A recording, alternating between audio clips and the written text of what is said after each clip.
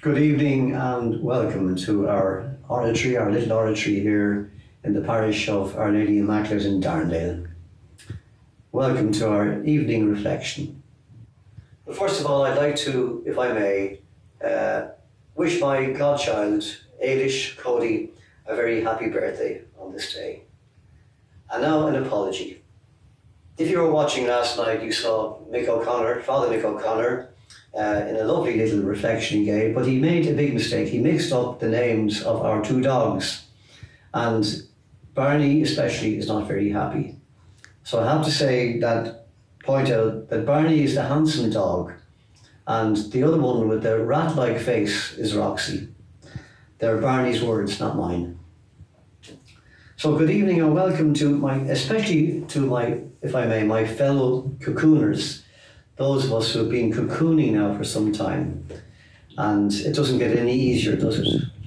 But if you look up the word cocoon in the dictionary, it says it's a, a retreat from something damaging or dangerous, some bad environment.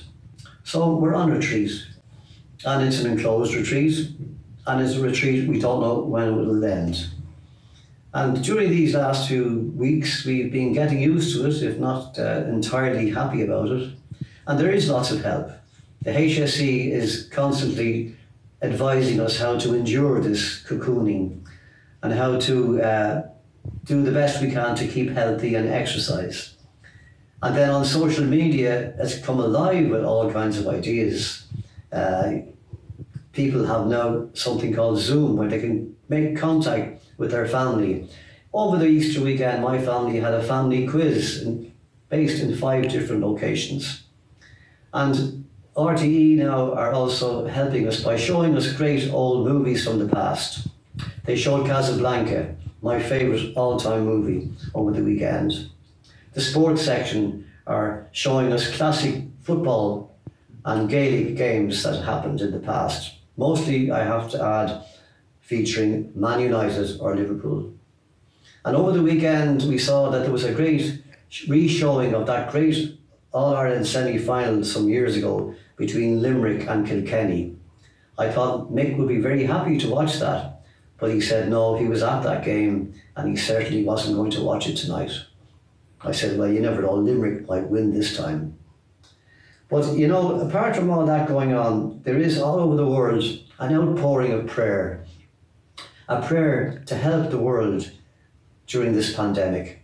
From our Holy Father Pope Francis to all the religious leaders all over the world, prayers every day, like the prayer sessions we're having in our Oblate community. And all this prayer is going on, but yet every day, relentlessly, we hear the new statistics. How many more people have the virus? How many deaths have there been? And maybe there's a temptation, because we're human, to think, well, all this prayer and nothing happening. Is our prayer being heard? Is the Lord listening to us? I'm reminded of the incident in St. Mark's Gospel where this father brings his son. His son has been infected with an evil spirit for years since birth, and it is tormenting him. He's constantly not well, and the father is desperate. And he hears Jesus has come to his village, and he goes to Jesus and he said, Lord, please heal my son. Jesus questions him and says, Do you believe I can do this? And the father cries out, Lord, I do believe. Help thou my unbelief. Please help the little belief I have. It's a very honest prayer, and Jesus recognized the honesty behind it and cures his son. So we're reminded again of all the words of Jesus knock and the door shall be opened, ask and you will receive. So no matter how tempted we are, we must always never, never give up on prayer. Over the last few weeks, we, the Oblate family, have lost four of our members. And we didn't have the opportunity because, as it says, government restrictions. Funerals are mostly private, quiet affairs. We lost Father John Murphy, who was a great man in Inchicore in his 90s, a man that we all loved and respected. He was a great encourager. He encouraged me when I was a very young priest. I've never forgotten that. He used to say he's from Termonfeckin, the cultural capital of the world. Father Tom Scully, Tom Scully's needs no introduction, the great coach of an All Ireland uh, Offaly football team. But he was also the great lover and helper of the homeless, building house, houses for them. He looked after our emigrants for many years in London. Tony Carroll, the great missioner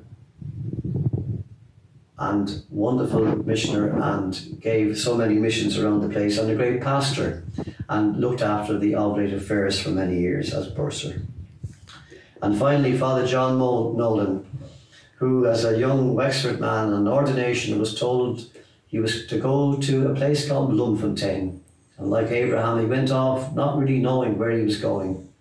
And it was in South Africa during the years of apartheid. He laboured there for many, many years and gave his life really for his people. So these are the people that we want to share their story with. We hadn't got the opportunity to do it. We sympathise with their families who are missing them. And please God, someday in the not too distant future, we will all gather together and celebrate their lives.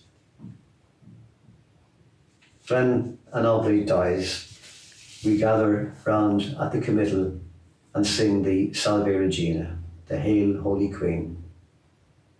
Thank you for joining us tonight here. Sleep well. Good night and God bless you.